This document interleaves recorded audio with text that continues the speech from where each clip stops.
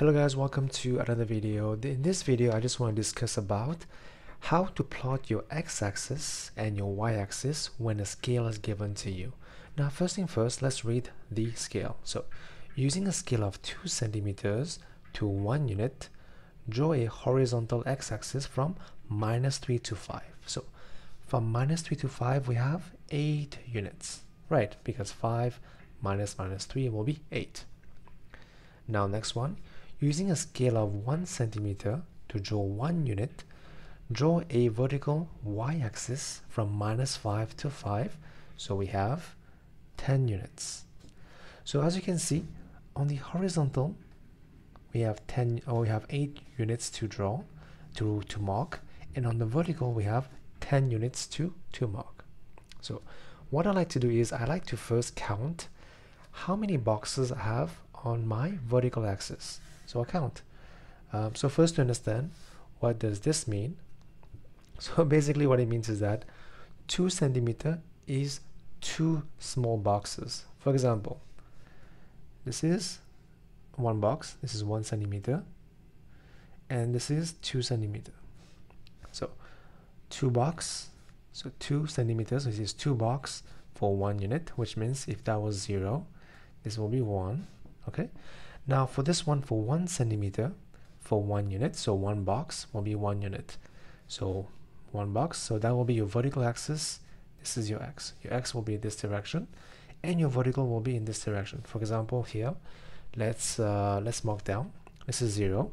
So one box. Let's say this is minus one. That will be one unit for one box. Okay.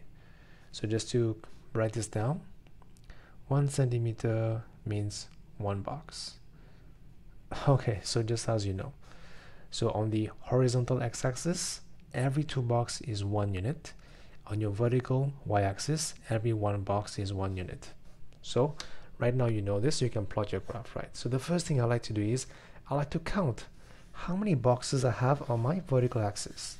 I have one, two, three, four, five, six, seven, eight, nine, 10, 11, 12. I have 12 boxes and I only need 10 units. So I can count. Basically, uh, I have 12. 10 divided by 2 will be about 5. I can start from the bottom. I count 5. 1, 2, 3, 4, 5. Let's just put a mark here. Okay, now next step is, or you can put the mark here. No worries, put it here so it's not confusing. Let's put the mark here for about 5 now one thing you know now is that you have enough space for your y-axis for, for the minus 5 and 5 right.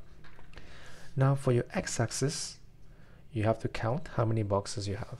So you have 1 2 3 4 5 6 7 8 9 10 11 12 13 14 15 16 16 boxes but here they're saying two box. So two box is one unit.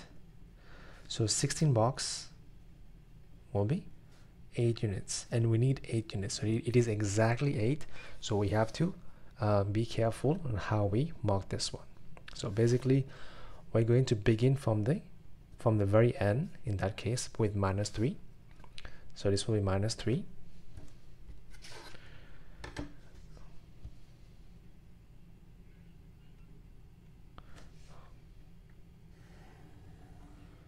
So we just have to mark them. So this will be your minus 3. So one box, two box will be minus 2. One box, two box will be minus 1. 1, 2, that will be 0. So 1, 2 box will be 1. 1 centimeter, 2 centimeters, 2, 1, 2, 3, and continue until 5. This is your x-axis and it is given between minus 3 till 5. 4 and 5. Now, the question you may have is, how do I know where to draw this? Can, be, can it go up or down? So this one depends on your y uh, axis. Since you have seen that we have 12 boxes on the vertical axis and we only need 10, so we can count from the bottom. Let's say we count 1, 2, 3, 4, 5. So as long as we know we have enough space for the minus 5 we are good right so that's all we need basically. So let's continue. Okay so we count. From here we just need to have minus 5 and for your vertical axis one centimeter is one unit. So basically one box is one unit. So one box is here. That is minus 4 one box minus 3 minus 2 minus 1 and that will be 0 now keep going up. That will be one box. Two three four and five. And label your axis as your y. Now if you have any extra space that is okay. We don't care about that. But this is how you would usually find your your axis and how you will plot your scale. Now just to recap two centimeter is just the number of boxes. One box is one centimeter and this is two centimeter. So two centimeter will be one unit meaning if that was zero one unit will be one. So continue two box that will be two. This is what it means for your x-axis but for your y-axis one box is one. So that's if that was zero if you go down that will be minus one. One box will be minus two.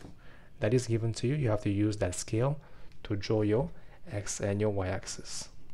So i hope that was somewhat useful and also just to explain um, so these axes we don't know to begin with. Even I don't know how to draw them because I have to test I have to try and see which one will fit. Only by trying you will know. So you will use a pencil. You can try many many times.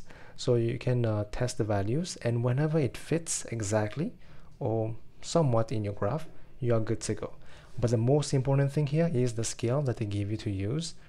So as you can see once you have that you can draw your scale and then you can plot your curve. So I hope that was somewhat helpful. And as always um, thank you for watching. I will see you soon. And of course uh, good luck for tomorrow. All the best and I will see you soon